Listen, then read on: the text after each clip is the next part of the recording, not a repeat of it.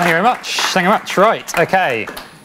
Uh, I hope you all had a good lunch and uh, you're going to be suitably docile while I throw lots of serverless stuff at you. Um, so, yeah, my name's Robin Weston. I work as a developer for ThoughtWorks. Um, you hear enough about ThoughtWorks, I won't go into any details. Um, so, although I'm a dirty consultant, um, none of the stuff I'm going to tell you about, I'm trying to sell you or anything like that.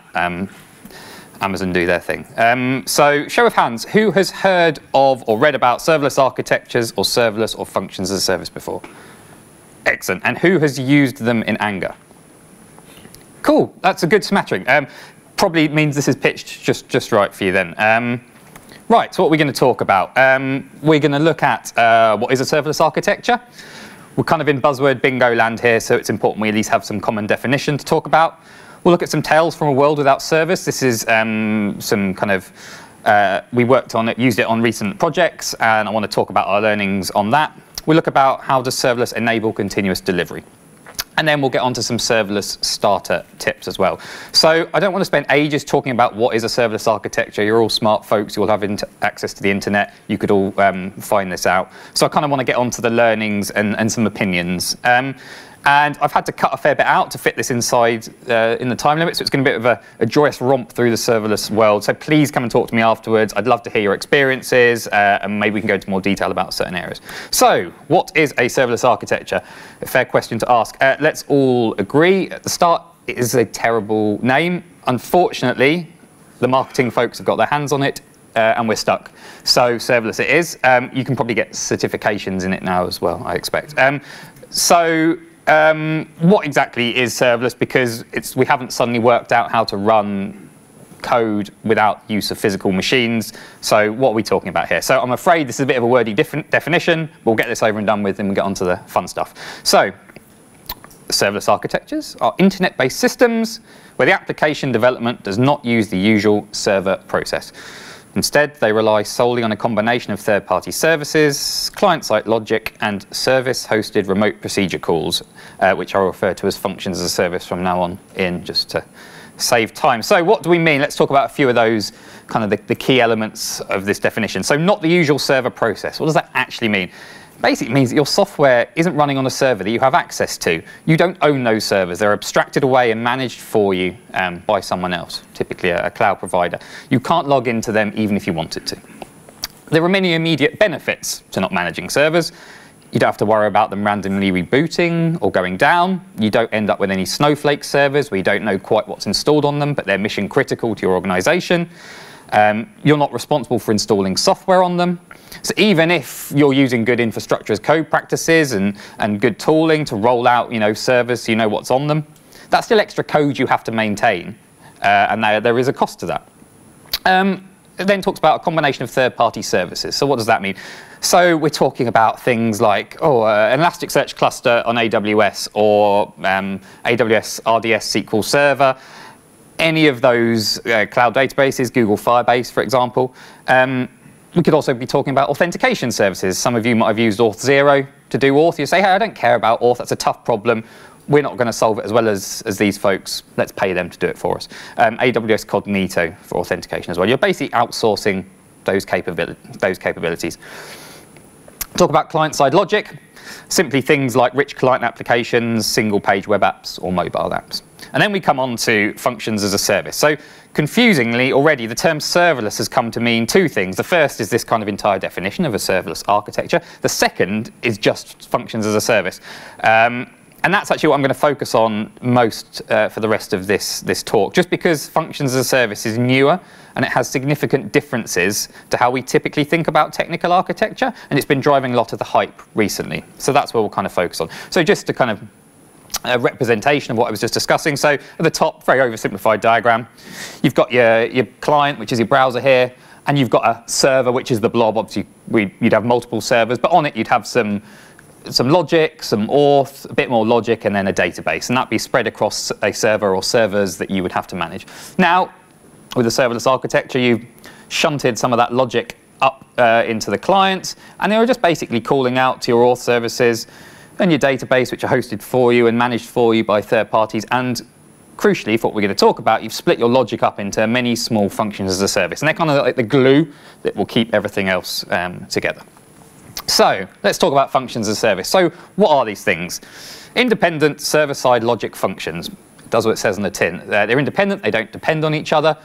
They're server-side, but they're logical functions. And so here, there's no magic here. When I'm saying function, it's just like a function that you write in your code every day.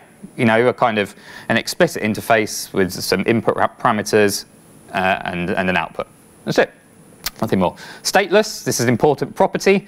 So because you're not controlling the underlying infrastructure, you can't save a file on one run of your function and expect it to be there the next. It might be running on a completely different server under the hood. So you, they are stateless.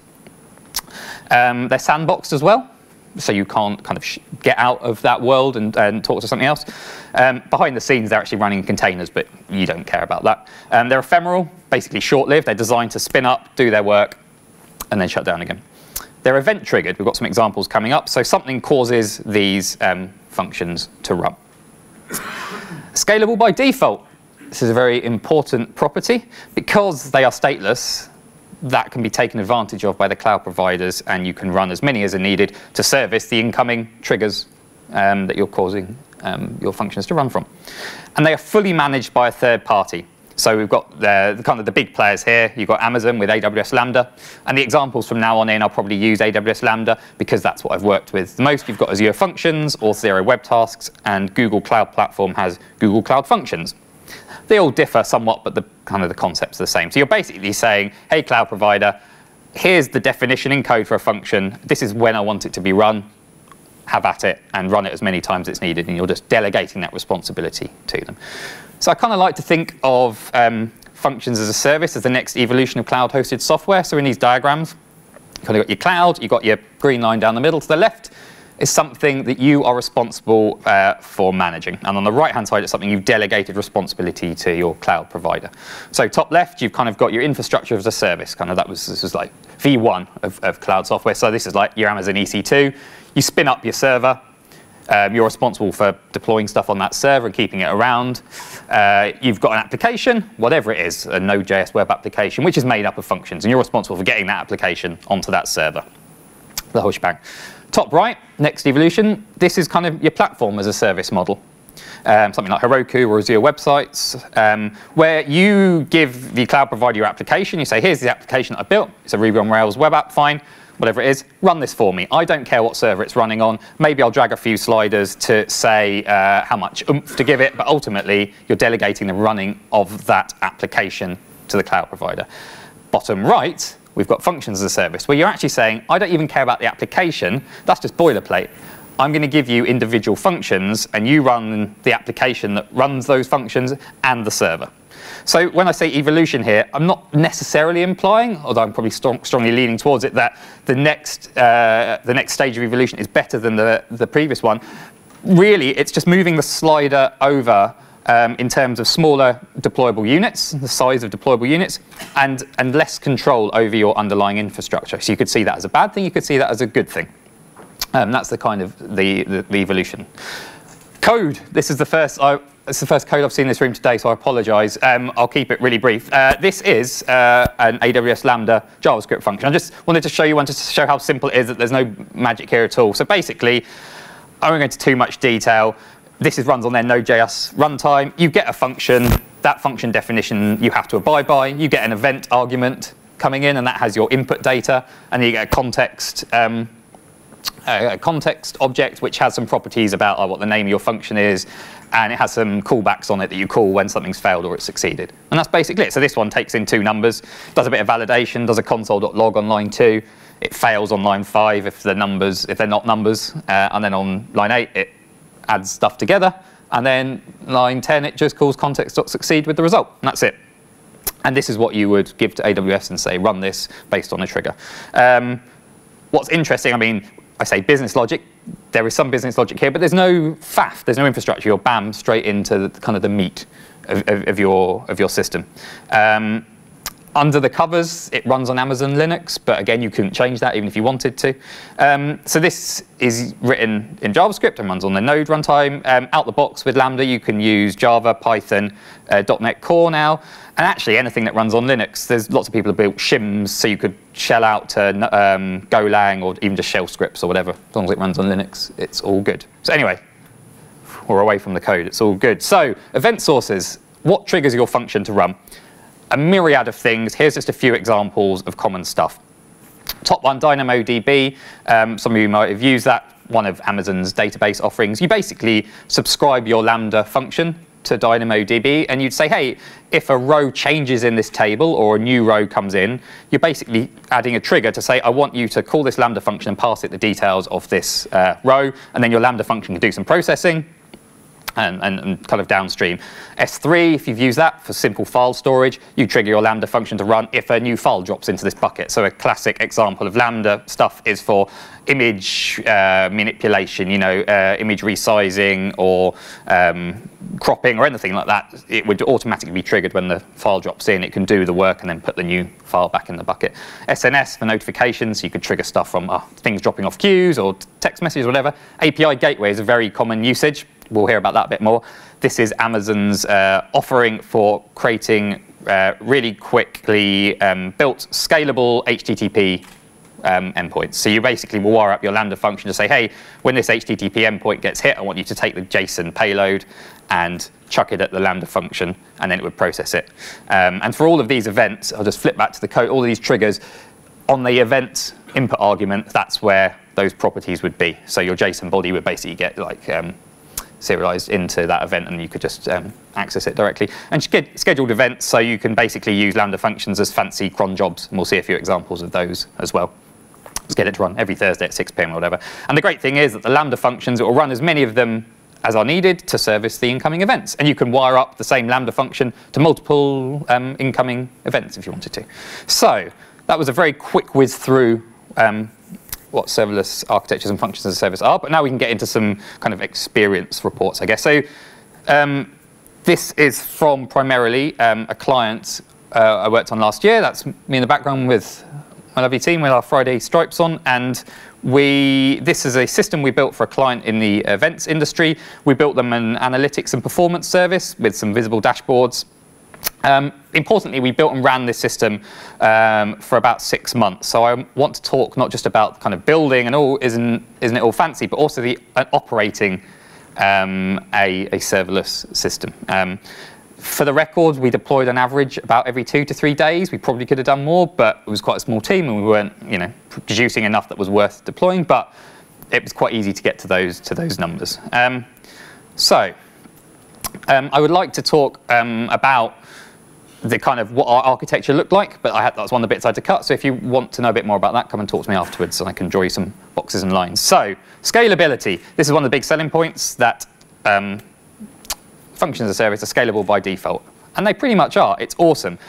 It will run as many Lambda functions as are needed um, to service your incoming events. This is kind of like the main difference from platform as a service um, with Heroku or something like that, you've got that slider. I think Heroku, the concept is dynos. Uh, so you could either move the slider manually or automatically, and it will then give you some more oomph or more power. There is no slider with functions as a service. It will always run as many as you need. Um, that scaling is also instant, which is actually quite a cool property. If you think, um, if you've done stuff on more traditional um, cloud uh, infrastructure models with auto scaling groups and things like that, or even on premise where you're like, you measure some measuring various measures of how busy your system is, I don't know, incoming request levels or CPU or memory usage or something like that. And you've got trigger points, you're like, right, that means we've got to spin up another web server or another server, bring it under the load balancer, and then it will start serving traffic. And then you've got to take it out again when that traffic's died down. That all takes time. That isn't instant. And you pay that cost and you might have to ramp up in advance and have servers sitting there before they actually need to be there and they'll also hang around for a bit longer than they're needed. Even if you're doing stuff with containers, there's still a lag between that scaling is pretty much instant with this, which is great. Um, and with API Gateway in front, you can, you can just spin up a very scalable public API just like that. And that's what we did. A large part of our system was building a few public APIs, and it was super simple. Um, there are hard limits. Um, Amazon do cap you and throttle you to 100 concurrent executions to start with. That's just to kind of save you from yourself. You can just um, fill in a form and say, we know what we're doing, and then they lift that off. But they just do that for your own safety. Costs. So uh, this is a big one. If we want, if you want to try and get serverless out, this is a good a good way to get uh, inside the door of the people who uh, sign the checks. Um, the cost model for, uh, for functions as a service is you only pay for your function's throughput, which is basically a function of memory multiplied by the time it has run for. And that's down to a granularity of 100 milliseconds, which shows how, because it's so tight, you can see that that's the model they're going for. They want you to run these for short periods of time. So you compare that to a normal application, um, you're paying for the uptime of your servers, let's say on the cloud, if you've got some EC2 instances, even if they're not being used. Think the, of the utilization levels of your servers and, and how much you're paying for them. And for, let's say, a traditional resilient server-based application in the cloud, you probably want it across three availability zones. You need more than one instance per zone. You're up to six instances, like minimum, before you've even done anything. And they'll all be accruing a cost. Um, so Lambda, just some cost examples. If you wanted to process 30 million requests, and let's say they all use 128 meg of memory and each run for about 200 milliseconds, so that's 30 million requests, that's going to cost you 10 pounds. Uh, it's, it's kind of ridiculous. And when we were looking at the costs for this uh, in a recent client, orders of magnitude below all the other parts of the system like data storage. It just wasn't even an issue. Um, Amazon free tier, you can get a million requests per month, so you could just go and sign up now and start messing around with them. So this makes them out the box great for things like scheduled jobs, great for things like APIs with surging traffic profiles. Um, and for, just for startups and things like that, where you don't know what your traffic, you know, you don't know what your volumes are, but you want to protect yourself in case kind of growth goes through the roof. I'm not saying it will always be cheaper if you know your traffic profile well and you're really good at packing things in. I'm sure you can make it cheaper, but who, who can predict the future? So it's actually really a really good starting point. Um, and also remember there are other AWS fees as well, like data transfer and use of other services. So typically a Lambda function running on its own doesn't serve much purpose. It's all about connecting it to other services. So you have to kind of add those in as well. Testability. We care about this a lot as continuous delivery um, practitioners. So what's that like? The local unit testing is pretty awesome. If you remember back to that code um, snippet, it's just a function. You just got to test a function. It's got inputs and it's got an output. That is made for unit testing. You can test drive your functions out really simply. And it's also, because all of your functions have the same common, uh, common shape interface, your testing, your tests will look the same, which is really good. It helps you just move around your code base quite easily. Um, we also found it was quite a good indicator if you were writing a test for a function, the test got quite unwieldy and you're having to know, mock a lot of stuff up or pass it in or test at lower levels, then that function was probably doing too much and you should probably split it into some smaller functions. So local unit testing is great. Getting on to kind of component testing. So a lot of our stuff, we had API gateway and we had a Lambda function and that was our, our service was kind of made up of those. You can't run that locally. It's not like you're building an application in a traditional sense where you can just spin it up locally, fire some HTTP traffic at it, and, and, and do your testing and see how it behaves. It will only run on Amazon. So how do you work with that? So there's a few suggestions. Um, what we went with and worked well, and Amazon suggests, is actually each developer kind of has their own little sandbox on Amazon. And so they could just run a local script and it will deploy their functions and their API endpoints to their little sandbox on Amazon and actually fire traffic at the cloud um, and then run the test. You think, oh, your feedback loop's going to be slow, but as we're going to get onto, the deployments are so quick that you actually don't really pay much for cost there. Especially, I've seen big kind of applications spinning up locally take as much time, if not longer. Um, there are other solutions for testing locally that people have kind of worked to kind of fake some of the services, but you're getting away from your kind of production environment then. So that's what we went with, and it was it was fine. So security, um, one of those things that you kind of there's a bar you need to hit when you're continuously delivering anything, there's usually a security bar that you have to hit, right? So how does this help us um, with that? So let's think about all the things you gain straight out of the box. You have no servers that are missing security patches. That's not your responsibility. They get patched for you you've got such a smaller attack surface area than a traditional server. Like you can't log in, so how's you know an attacker going to log in? You don't have any usernames or passwords or SSH keys. There's no users on that server to escalate privilege for. That server lives for milliseconds, so that attack window is very small in time as well. And also an important point is there are no human sysadmins. We know that humans are often the vulnerable points in our in our process, and there are no humans administrating these servers to to uh, phish or whatever to gain those credentials. Um, there's no faff around with firewalls and ports and things like that. File systems read only, um, so many traditional attack vectors are unavailable. So um, in AWS land, I'm sure a lot of you know, the, the there's this thing called Identity and Access Management, IAM, which is basically how you provide um, permissions to speak between systems. And that's the same thing for Lambda. So when your Lambda function runs, you basically assign it a, a role that it assumes, and that role will give it permissions to do different things. So for example, you can give it a role that says you're allowed to read from this very specific DynamoDB table, and you can put things in this S3 bucket, for example. And you can scope those as granular or as, as wide as you need to. Um, which is good because it means you can control, even if someone compromised the code inside that Lambda function. They could only do the things that that permission would allow. Most of the security flaws in Lambda, people exploiting them I've seen, have just been because those IAM rules were just too broad. So you've got to keep them scoped down. And then that's just advice in Amazon in general. Um, also, you will have to manage some credentials. You're going to have to deploy these things. You'll need AWS access keys and so on. You've got to store those securely. This talk isn't about that. But you know, you do have to manage a few credentials, but not as many as you would with traditional servers. So observability, it's a good one. Who cares if it's serverless? You still need to know how your system is behaving. You still need to diagnose issues. Things will still go wrong. What's the observability story like? Um, the answer is it's pretty good. You get a lot for free. You'll probably want to customize and enhance it, but I'll talk you through kind of what you get out of the box. So logging, cropped up earlier. And this isn't a talk about logging. But basically, if you remember back to the code on the first line of the function, there was a console.log with a message. What that console.log does is take that message and chuck it into AWS CloudWatch, which is Amazon's kind of monitoring system. You think about that, that is really powerful.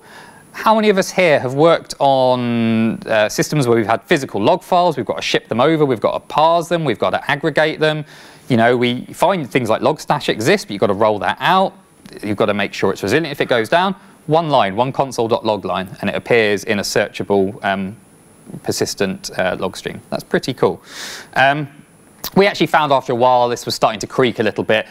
That it was hard to search across log streams because your different functions uh, would end up in different log streams. You couldn't graph these out the box. You couldn't see how your error logs were, you know, over time, um, and things like that. So what we actually did was use Lambda, and this is a, a use of Lambda that um, Amazon suggests, and they actually provide you the code for it. We had a little Lambda function that subscribed to CloudWatch logs. So you can set up your CloudWatch logs as a trigger for a Lambda function. So every time a log message dropped in, it would trigger our Lambda function, which would take that log file and uh, chuck it into an Elasticsearch hosted database, which we then could sit Kibana on top of, and then we've got our lovely graphing and searching and log aggregation. So that was fine. So it was actually really nice little use of Lambda kind of around the edges of our system uh, graphing and so on. So this is a uh, snapshot of one of our monitoring dashboards. Again, all these graphs come out the box. If you think of systems I've worked in the past, and you need to graph stuff, fine, you maybe use Graphite or something, but then you've got to put stuff in your code to publish those stats, and then you've got to have Graphite, and it's got to you've got to be resilient, and you've got to make sure the data doesn't go down, and, and so on and so on. All those concerns that cost you time and money and so on you just monitor this stuff out the box. So these graphs, just um, top left one is our lambda, so that talks about um, how long it was running for and error rates and stuff. And the other two graphs are around our gateway, so our API gateway, so these are HTTP um, stats, so uh, error rates, latency, uh, total requests, that kind of thing. And you get these out of the box. And they keep making CloudWatch stuff better. They've introduced like 95th percentile stuff, and it's always getting better. And I think they increased the metric duration. It used to be, used to hold it for 14 days, and now it's like 13 months or something like that, and it just you just got that for free. So these graphs are fine; they get you a lot of the way. Um, you probably want to enhance them over time. Um, for example, you want to you can add custom metrics to CloudWatch pretty easy. You might want some more business-focused metrics that talk about how your um, system is behaving in terms of actual kind of user traffic and stuff like that. Um, but it gets you on the way. And again, this isn't a talk about CloudWatch. Pipelines and deployments. So I think I'm contractually obliged to talk about those here. So how do we deploy this stuff? So um, Amazon are very prescriptive about how you must deploy um, your Lambda functions. It's pretty simple. It's a zip file.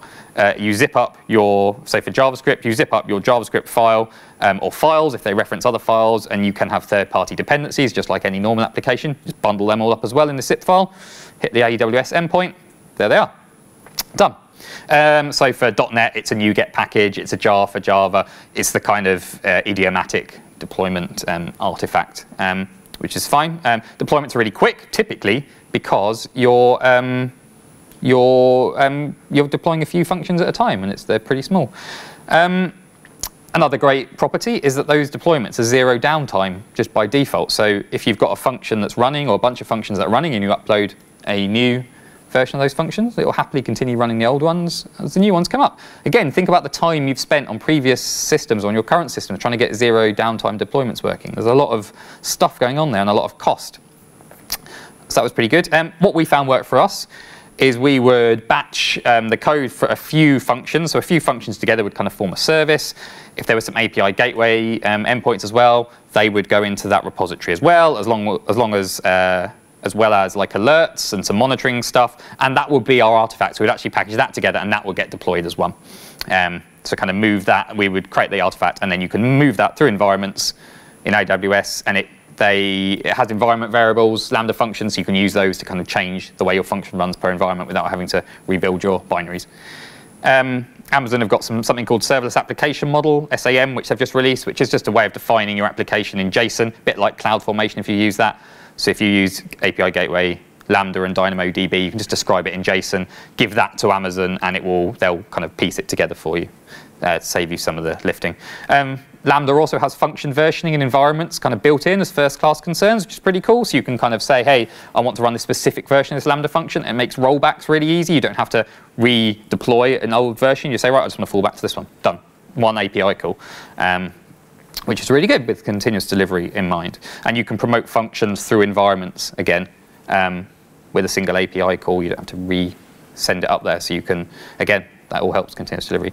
So frameworks, um, just wanted to kind of give you an idea. There's a big ecosystem and it's growing and growing about, um, these are all open source, I think, open source frameworks around the edges. Typically what these do, oh, and one you'll notice is confusingly called serverless, which is another definition. But I don't know if it's going, but they've got like a cool flamey S-GIF thing going on, so it probably compensates. Um, these are all, basically, these are all opinionated command line tooling pretty much um, around mostly API Gateway and Lambda.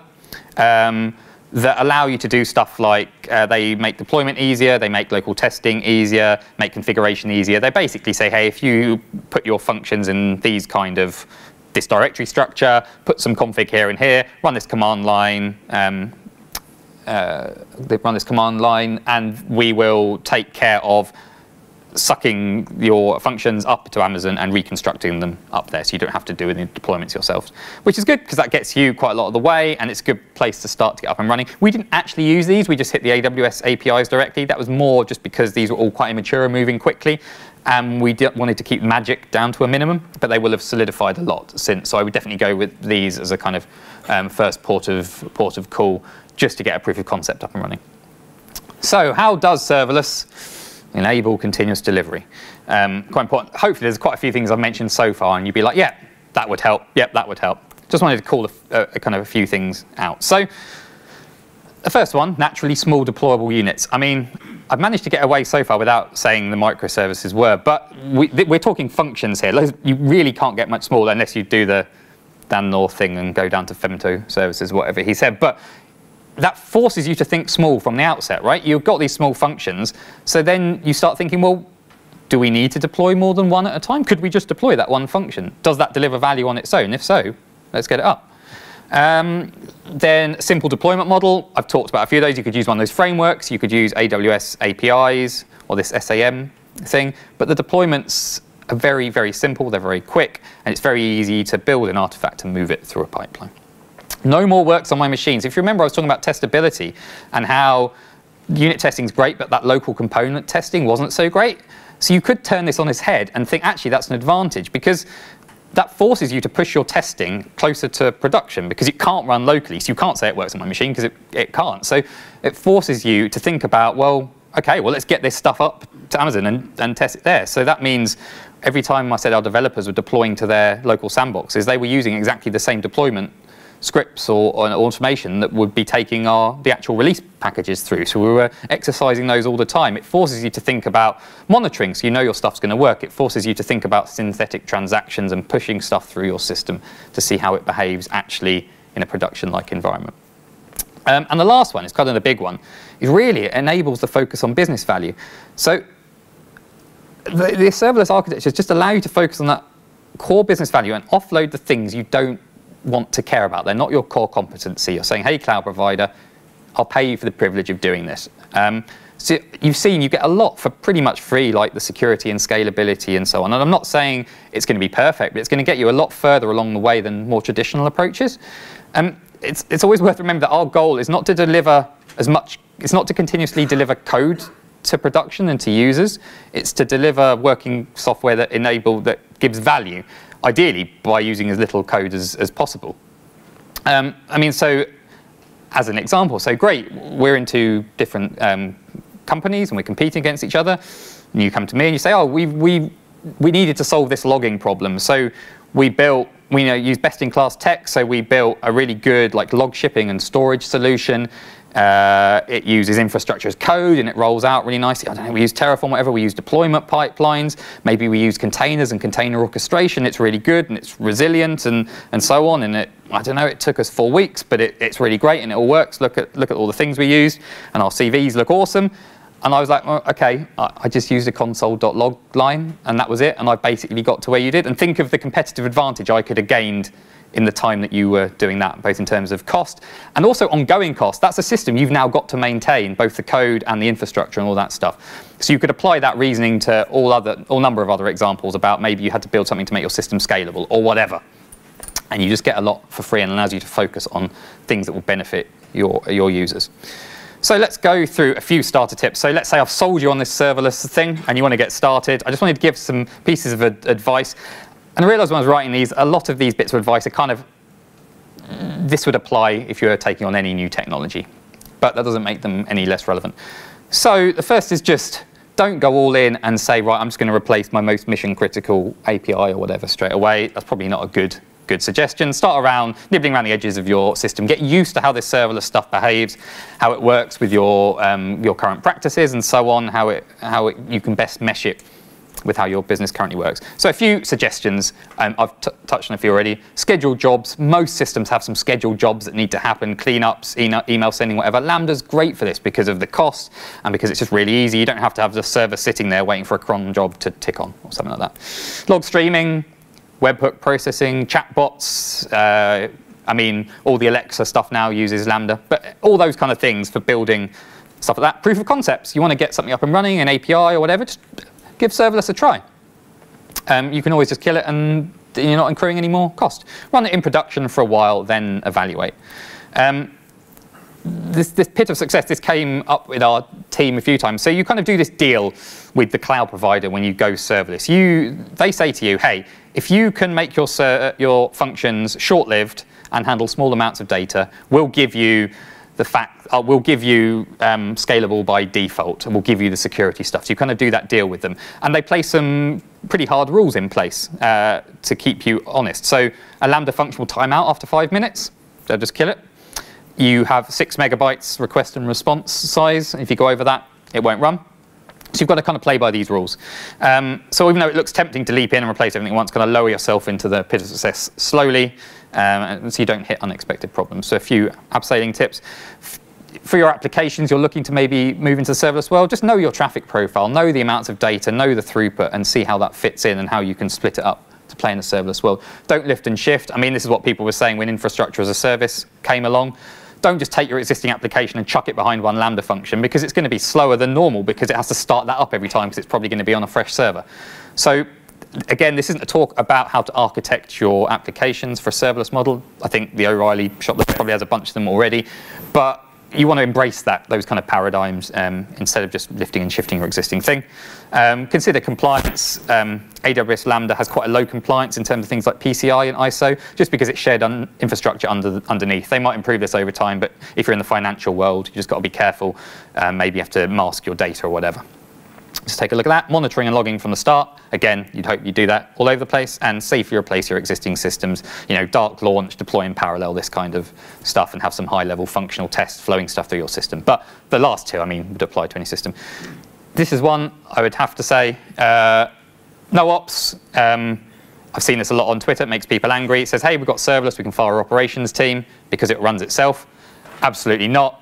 I think actually what we found in our team is you need operations skills and an operations mindset in your team more than ever. Sure, you don't have server maintenance anymore, or maybe auto scaling configurations, but there's such a small set of modern day operations that you still need those skills in your team. You want your cross-functional teams. You want you've got to worry about log aggregation and monitoring and alerts and all that stuff still. You've got all your surrounding services, your um, S3 buckets you'll want to roll out using infrastructure as code, that kind of stuff. So I'm just trying to uh, don't fire operations teams because Robin from ThoughtWorks said so. Keep keep them around and, and work with them because it's a new world, but um, you will need that expertise as much as ever. So that's pretty much it. Um, talked about what is a serverless architecture. Talked about some tales from a world without servers.